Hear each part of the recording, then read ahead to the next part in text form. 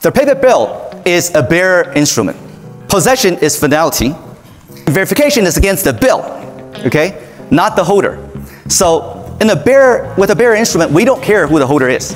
Anybody can hold it. We just care if that bill is genuine and has value.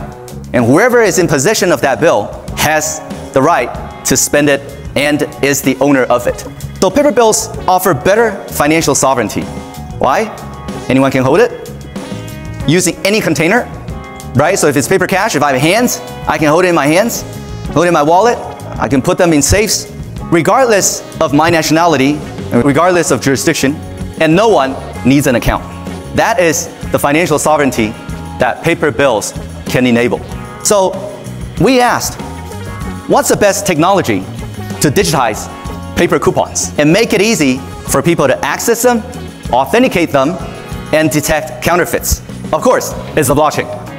So we created the first fast global money transfer network from, and we moved from disconnected closed-looped network of database ledgers to tokenized cash on permissionless blockchains with tokens that anyone can hold and send and where no account issuance is required.